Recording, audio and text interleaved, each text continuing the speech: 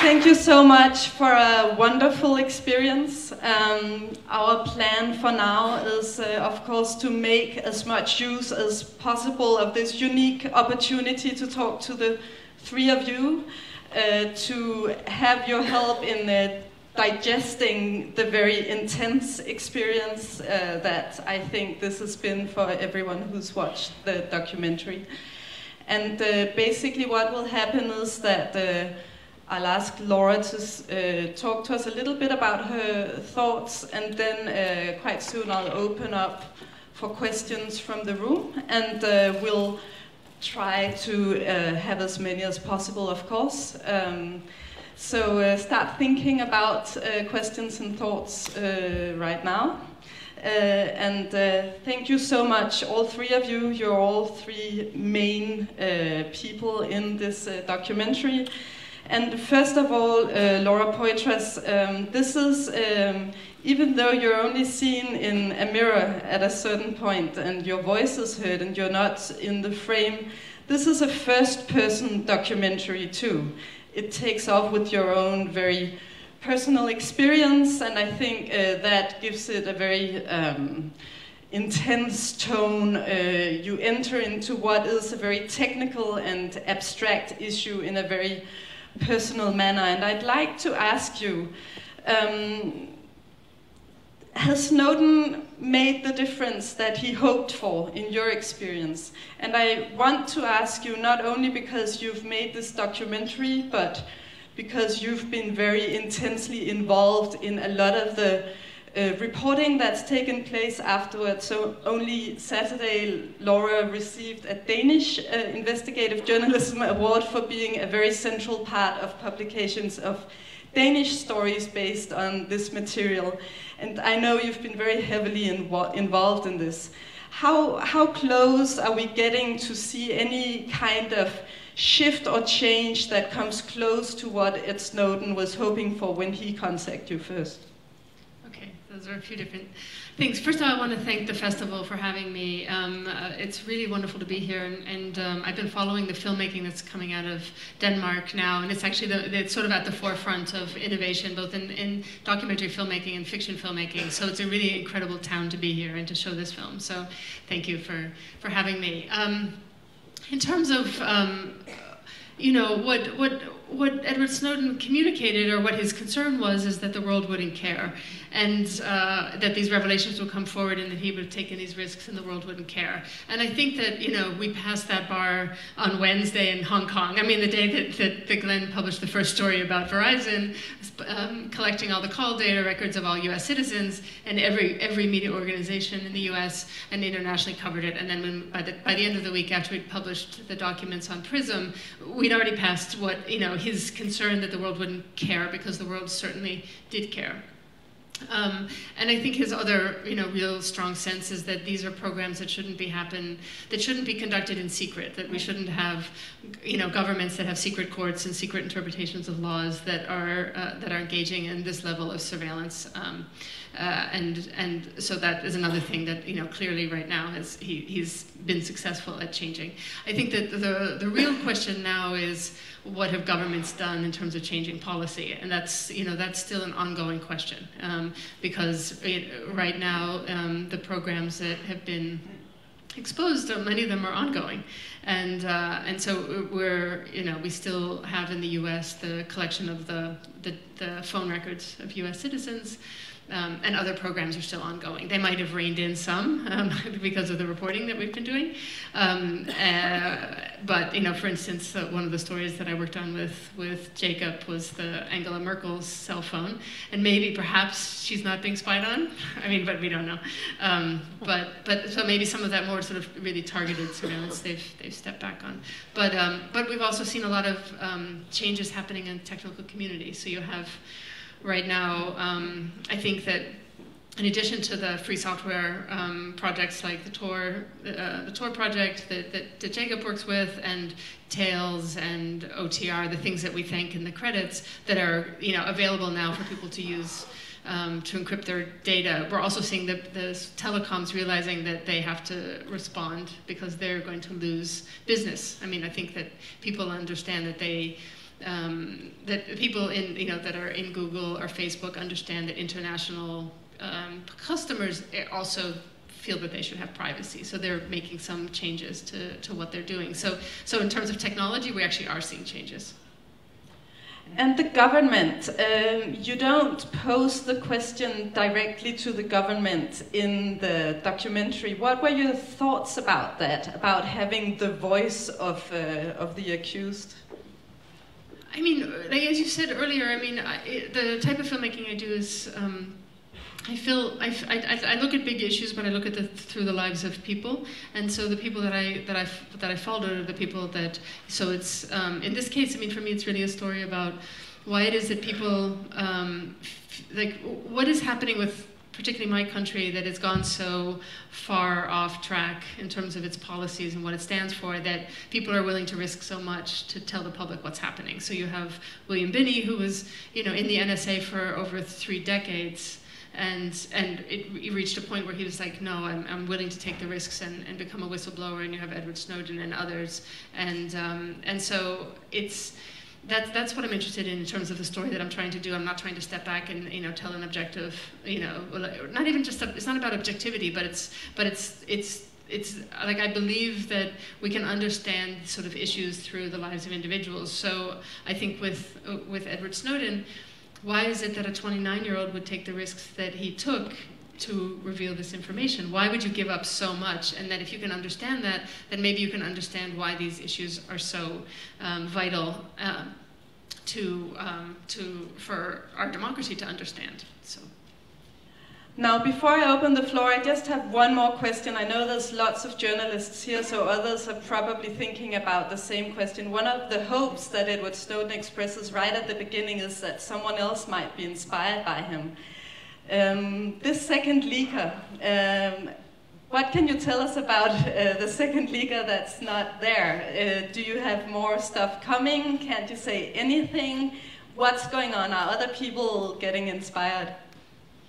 I mean, uh, maybe, and also I'm going to ask Jake, I'll, I'll, answer it and then I'll ask Jake to also address it. But um, I mean, it's not really about counting how many people have come forward. There are many, many sources. All of the reporting has been done, you know, that I've worked with has been done with many sources. And that it's not, that's not the, the question. The question is, is what's happening in our government and why is the government becoming sort of in, increasingly secretive and that people are having, uh, people who are seeing wrongdoing are having to take the risks that they're taking. And so for me, the end of the film is, is not so much like about, oh, who is that, you know, that's individual because obviously as a journalist I'm not going to talk about sources, particular sources, but what we wanted to communicate is that the that there is a, um, a war on, on, on, whistleblowers right now in the United States, that they're being targeted. So there's the people who are exposing wrongdoing and instead of looking at the actual people who are committing the wrongdoing, we're looking at the people who are exposing it. And then we also have a war on, on, on journalists and, and targeting journalists and pulling them into um, leak investigations. And so that's kind of, we wanted to end the film on a note that's saying that these that even though maybe this, you know, um, that Snowden has political asylum, um, it shouldn't make people feel that, that these programs are, have been uh, stopped or that the risks aren't really very real. Do you want to talk about also? I don't have anything to say about sourcing. Except that one thing, which is someone you trust is one of us. All right, well, uh, I'm sure everyone is aware, but we have a, a panel consisting of uh, how many years were you in the NSA? Uh, Just a little over 36. All right, so a veteran of the NSA uh, who is among uh, the first people who have uh, stepped out and felt that it was necessary to make a public issue of what was going on. We have Laura and we have Jacob Appelbaum who um, has, is very involved in the Tor project and uh, encryption issues generally, and has recently been in Denmark once before uh, to be a witness in the Danish court case against uh, Anakata of uh, Pirate Bay. So um, Please, uh, let's open up, and I'm going to hear a couple of questions and uh, try and see uh, if I can keep track of all of them so that we have as many questions as possible. And I'm not sure if there's a microphone. Yeah, and there's, there's, it's hard, the people in the back with the lights, we can't see the people in the yeah. back rows, so if you want to bring up the house lights a little. But um, we can start out here, which is a place where I can see. So please stand up when you have a question, and I think just speak loudly. Yes, uh, why did you reveal the identity and the whereabouts of Edward Snowden before he reached his final destination? All right, so uh, this question was why reveal the identity and the whereabouts of Edward Snowden before he reached his final destination, um, Moscow as it turned out to be. But let's just hear a couple of other. Yeah, down here. Uh, that's probably mostly a question to, to our specialists here. Will we ever get our privacy back? Are you Paul Will Henning we- Kamp? Will we ever get our privacy back? All right, uh, one more question. Holy shit! you should come up here. That's amazing. It's like the most. You're my hero. There's almost uh, very few here. I, these are the others. You might need to come on the Let's stage. get one more question before we have the panel come back. Everyone is overwhelmed by the second question. Okay, who wants to go first? Binney, Mr. Binney, when will we get our privacy back? I will take on the privacy. First, first of all, I would say, uh, if you have nothing to hide, you have nothing to fear. That's a great quote from Joseph Goebbels. Okay? Plus, plus, plus, if you think that, that's totally irrelevant. Doesn't matter what you think. It only matters what the government thinks. So what you think is irrelevant. Now, to get your, will you ever, uh, my answer to that is no, not the way things stand now. And unless we do something to, uh, because this is not just the NSA, okay? The NSA is in this with many other agencies around the free world. Uh, so far, we haven't gone behind the former Iron Curtain yet. But, but uh, NSA is not alone in this, and, and they've got a lot of help from a lot of uh, friendly governments. Um, there are 33 known uh, third parties, for example. Uh, first party is U.S., second party are the other four um, English-speaking countries, Canada, uh, Australia, New Zealand, and Great Britain. And then every, everybody else is a third party, and there are 33 of those uh, around the world. Uh, not all are participating in this, and not all have XKeyscore, but they're all, um, they're all involved in one way or another with NSA, maybe not in the digital world, but uh, in other worlds. So there's a cooperative level uh, of uh, uh, uh, transactions and transfer of data and information, and even XKeyscore allows them to get into this central database. So unless we address this as a world issue, um, I, it's going to be pretty hard to get your privacy back. My, my, I, uh, Kirk Wiebe, Ed Loomis, and Tom Drake, and I, and Diane Roark have been suggesting ways to the U.S. government, specifically to Obama, and he's ignored them all, of course, to ways and means of fixing NSA. Uh, and one of the ways, one of the things we've tried to emphasize to him is you cannot trust your intelligence agencies. You, the President of the United States. Congress can't trust them either because they lie to Congress, they lie to themselves even. Between each other, they lie. So uh, they will do whatever they deem necessary for their purposes. And that's why the, the US government and every government needs to have some means and some way of ensuring that they're doing what they say they are doing and they're not doing something that's unconstitutional or whatever, whatever uh, foundation you have as a, as a governing principle in whatever country you're in. Uh, but you have to have a technical group. I, I, we suggested they pick hackers from the United States because we thought they would be the ones who'd have a real vested interest in finding things that are problems and uh, give them clearances and authorize them to go in any agency of the intelligence community at any time, anywhere, sit in any desk, look at any program, look at any database, and verify that those lying sons of bitches are what they're doing. Because that's what they are.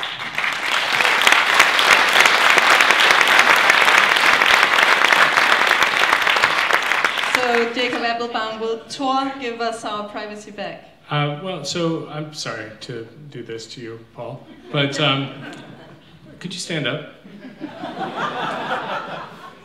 this man right here is the most important person in Northern Europe, but definitely in Denmark, working on these issues. And he is one of the few people on the whole planet that can solve it for the rest of us. Because he's part of the IETF, he works on FreeBSD, he's a part of the actual standards bodies of the internet. So when he convinces the rest of the world that mandatory end-to-end encryption, peer-to-peer systems, distributed decentralized systems, when those are the standards and they are secure and they're the default, then we will have our privacy back. And it is exactly this man that is working on doing those things. He should never have to buy a drink again in the rest of his life.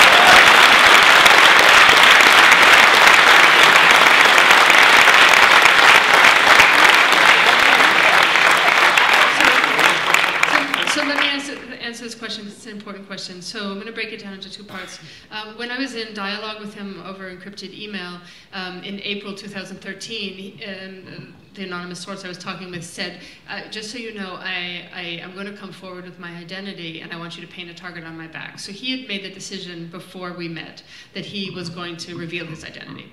And then after he said that, then I requested a meeting, a face-to-face, -face, which is sort of how we ended up in, in Hong Kong. His first response was, no, he didn't want to meet. He didn't want to meet for two reasons. One was because he didn't want the story to be about him.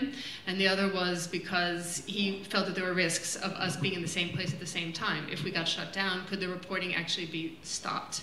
And then he would have taken all these risks for nothing. So we had to talk about both of those things. And ultimately, he agreed to meet and we met in, in Hong Kong.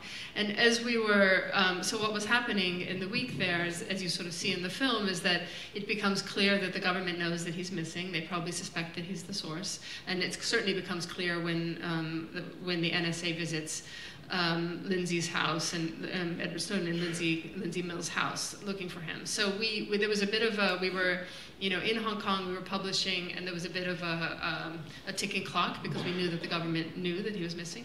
Um, and these conversations were sort of happened in the context of that. Now, what you see on, and, and I think we all felt that since he had agreed to reveal his identity, that we didn't, that we wanted him to be the first one to articulate his motivation before it was a government press conference uh, naming him. So so that's what was that's sort of was there was sort of a, a, compressed timeline. And then on top of that i would say that we were i, I mean i've i mean i've filmed in war zones and i can say that filming in hong kong was the most stressful environment that i have ever filmed because i really felt that at any moment someone could be like come in the door and and raid and uh, and try to stop us from what we were doing. And and I really felt that it was very palpable. Um, there were conversations between The Guardian and Snowden about providing him for a, a, place to stay, and I don't know what happened, but they seem to have fallen, um, they, they fell apart at some point. Um, and when, and I think we actually didn't know how short it would be, like after we, we published the video, and that, I think that that was, in a sense, our mistake as journalists, not to act faster, to get him lawyers so that it wouldn't have been such a close call between him um, having lawyers and, um, and when the, when the press started knocking on the on the door. And I think that that's that's sort of the mistake of um, of myself and, and, and Glenn not knowing.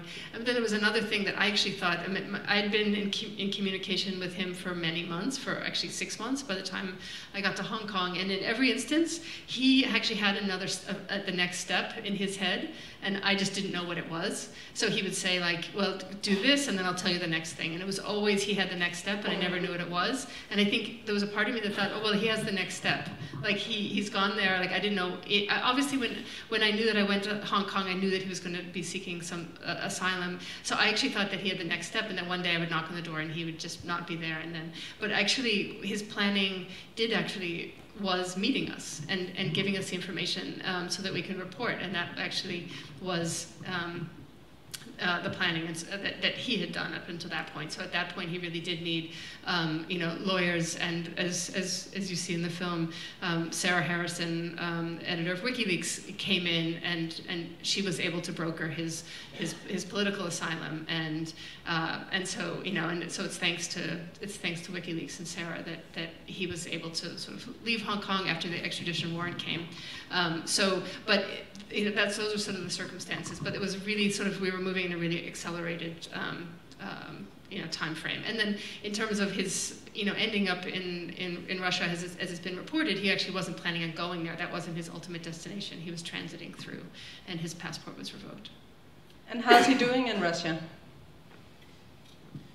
so the last time I saw him was in September when I filmed the this, the scene with him and, and Lindsay. Um, and he seems he's he's doing good. He's doing good. I mean, actually, I think having her there is, is, is great. He seems like a lot, you know, happier and a little bit um, like less of the weight of the world on on his shoulders. So he seems he's he's in good spirits.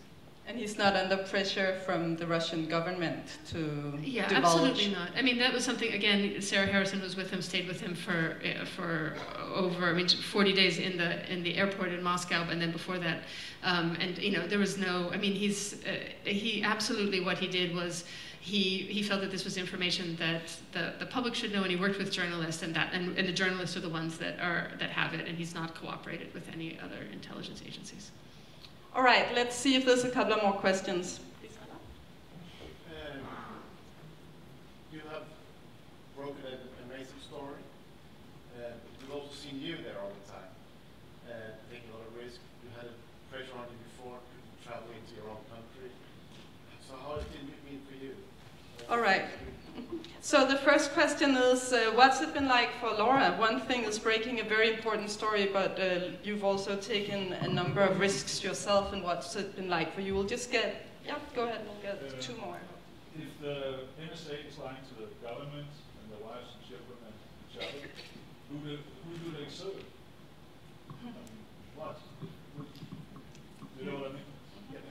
Another great question on a very different level. So if the NSA is lying to the government, to the wives, to their children, who do they serve? So that's uh, another level. Is there anyone in the back? That, okay, go ahead. Yeah? In the back.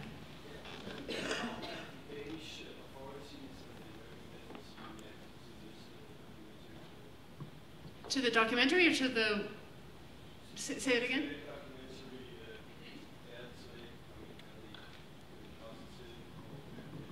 The US government and the Danish authorities, how. I think I'll give that to Henrik, yeah. Uh, Hey, Henrik, I'm going to give you that question, like on the reporting. I'm just going to take the microphone up to the back.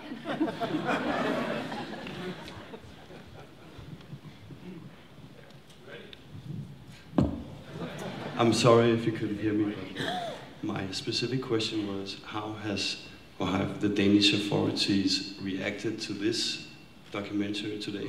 And what about the American embassy in Copenhagen? Just reactions or since it's pretty Right, thanks.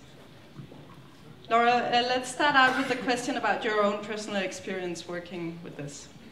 Um, so, I mean, as, as I said in the beginning, I mean, this is very much told from a first-person perspective, and um, you know, because I'm also a participant, I'm also telling the story, I'm narrating the story.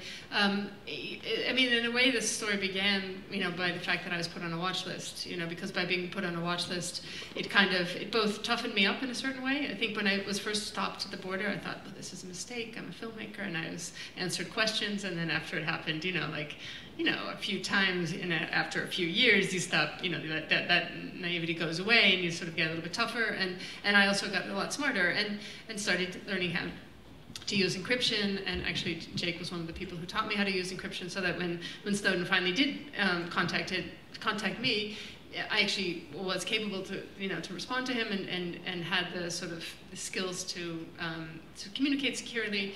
And it was also, he was aware of the fact that I'd been put on a watch list, so that was one of the reasons that motivated him. And, and also the body of work that I had done and also that Glenn had done, where we had been both critical of the US policy po- in the post 9 11 era. We both feel that there were sort of you know, that, that we've violated fundamental principles of rule of law and, and, and things that the, in the Constitution and things that the country stands for.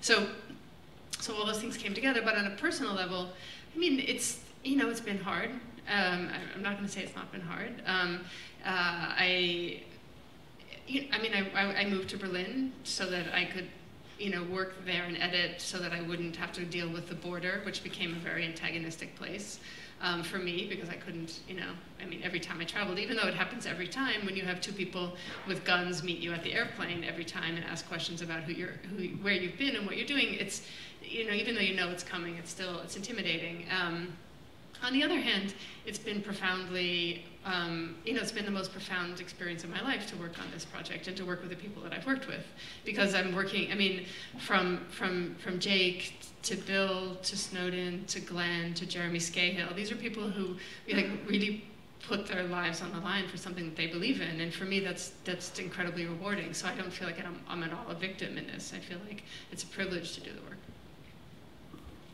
Thanks.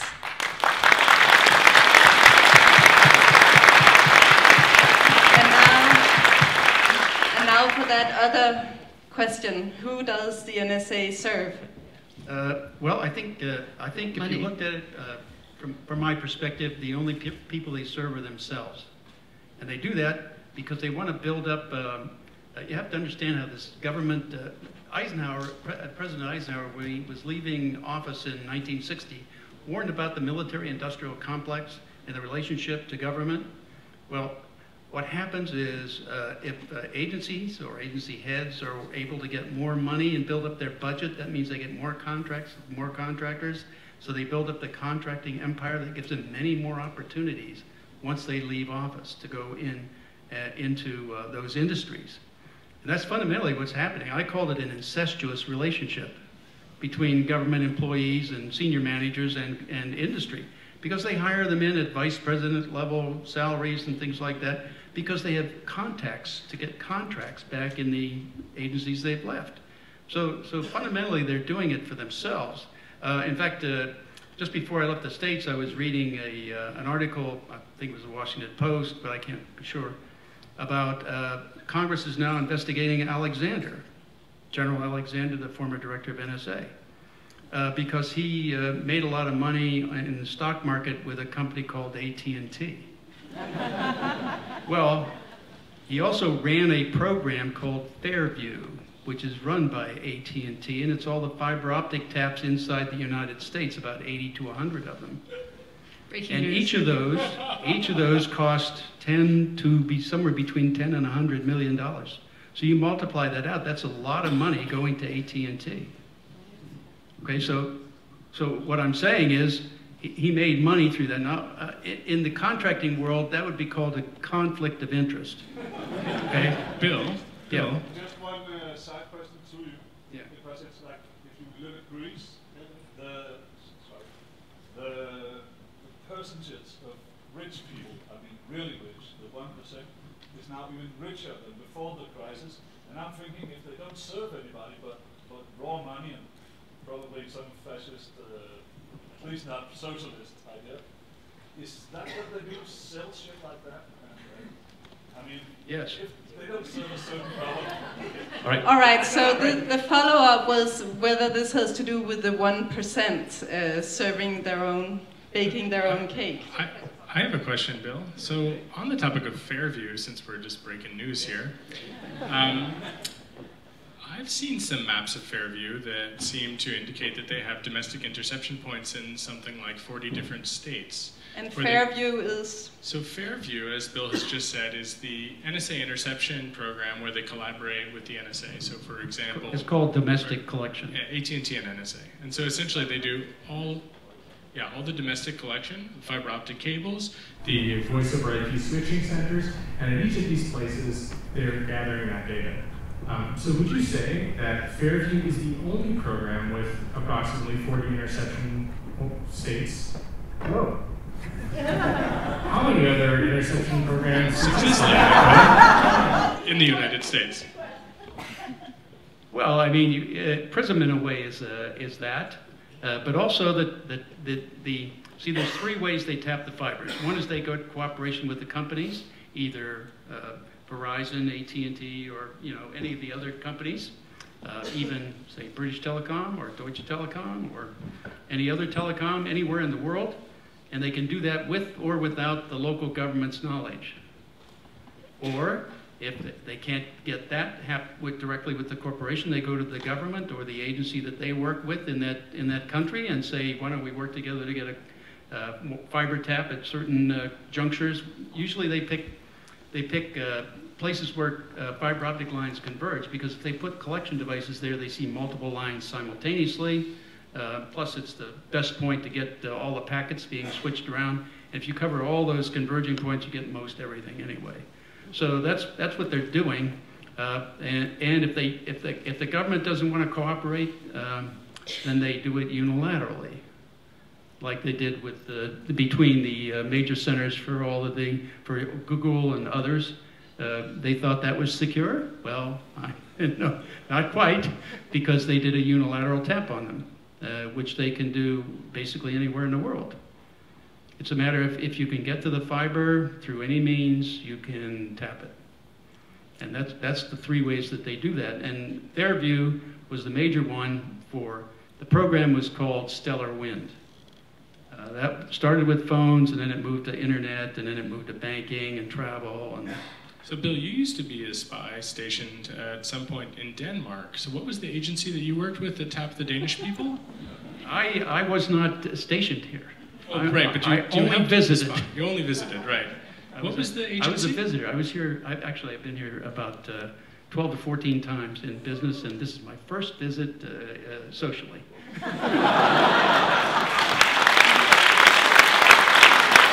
Thanks for coming, Bill. Is there anything more we should know about these visits? Actually, well, I mean, we had a very close relationship. How about that? What was the name? It was. It wasn't. Uh, It was the DDRS at that time, the Danish Defense Radio Service. Now it's the DDIS, right? They reorganized or did something. I think that would be Forsvarets efterretningstjeneste. Can anyone nod? Right. Yes.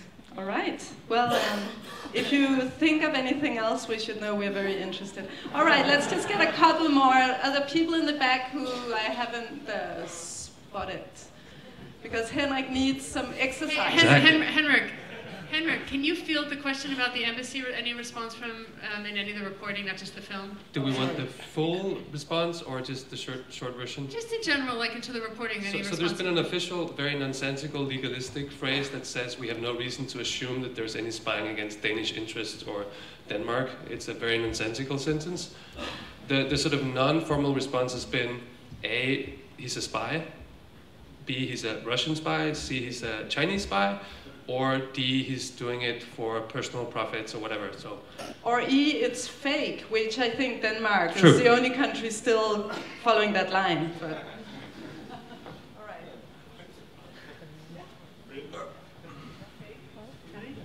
Yeah, um, my question is actually related to Danish reporting. Uh, right after uh, Snowden got stuck in Russia, uh, senior reporters in Denmark suggested that uh, he probably traded secrets for uh, getting asylum there. From your knowledge of him, uh, does that sound uh, plausible, or uh, what do you think about that, Laura?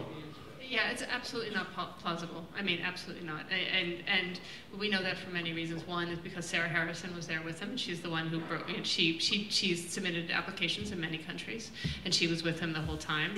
And that I mean, do you want to also? that which is presented without evidence may be dismissed without argument. what a bunch of bullshit. Do you have any evidence? I mean, it sounds like a fun spy game, and that sounds like what people would understand from watching James Bond. But is there actually any evidence that supports that? And the answer is no. Actually, what happened is for the first time in, in my life, Russia did the right thing with regard to human rights. That must burn so badly for everyone that is in a position to criticize Russia. All right, let's just see. Henrik is all the way. Could, could oh, I, sure. could I add one thing there?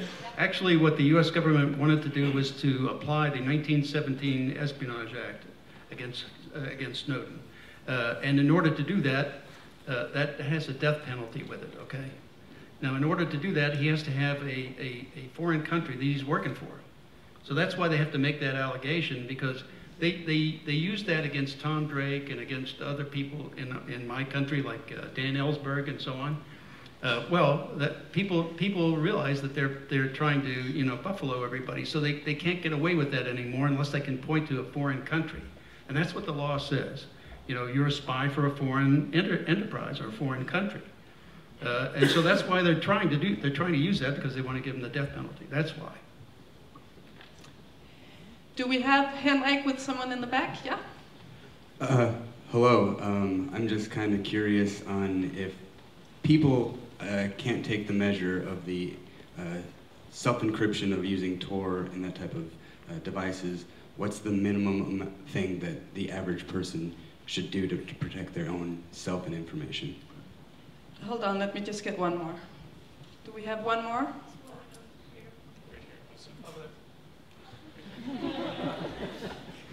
it's good for me.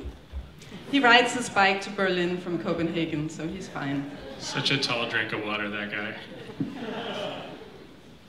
Hi, I just wanted to hear about your process um, when you're collecting the material from the beginning.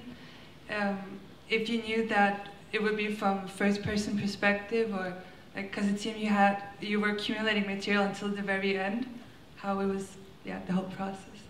All right, I hear that is one for Jacob and one for Laura, I think. So um, if Tor is too complicated for you, then what's the minimum you should do?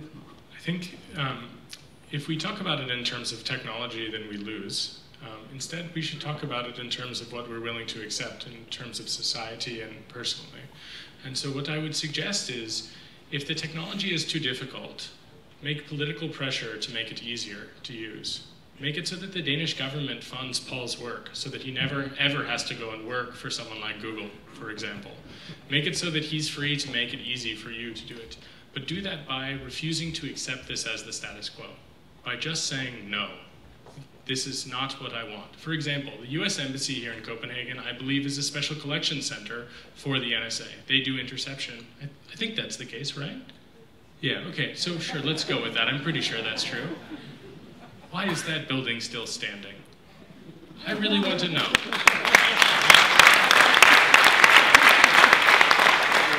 And if it continues to stand, why doesn't it stand for the things that you would like it to stand for? That is what is important, and that has nothing to do with technology, and it has everything to do with organization. And that is something that every person can do, especially you if you find technology too hard, because what else will you do? And if not now, when will you do it?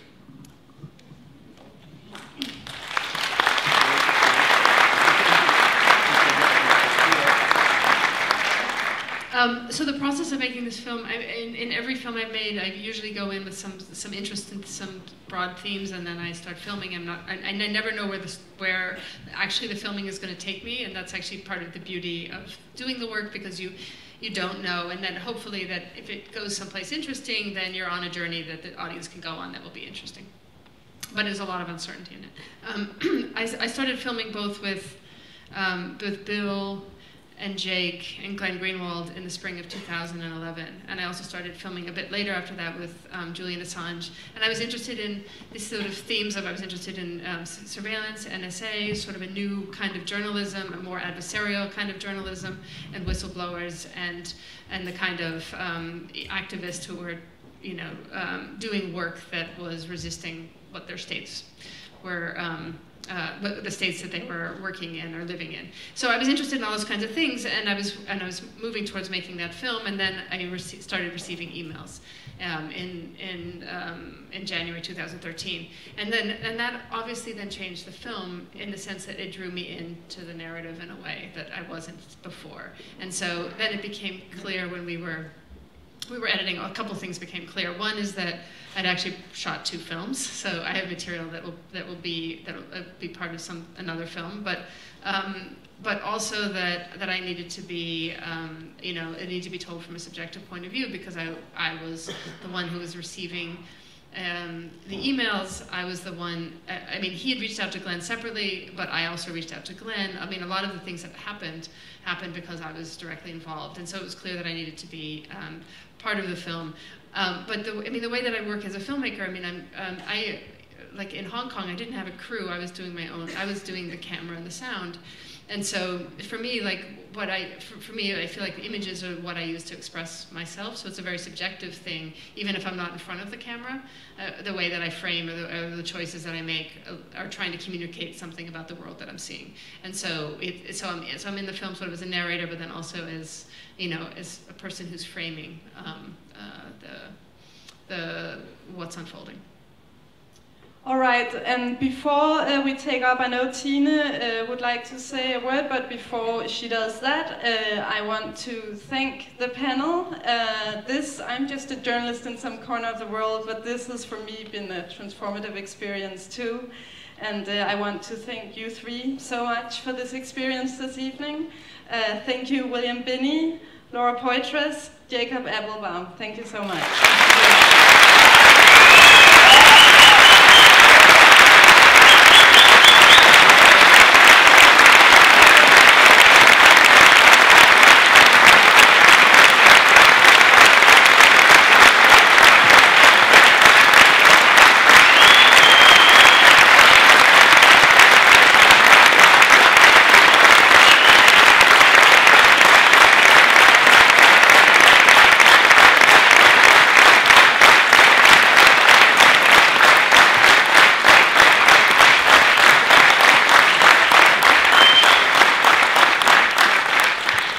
So thank you to all of you. This is a very short announcement, but you need to stay seated because you need to help us. While you've been seeing the films, we've convinced Laura that uh, we're going to take Citizenfour into cinemas across Denmark from next week onwards.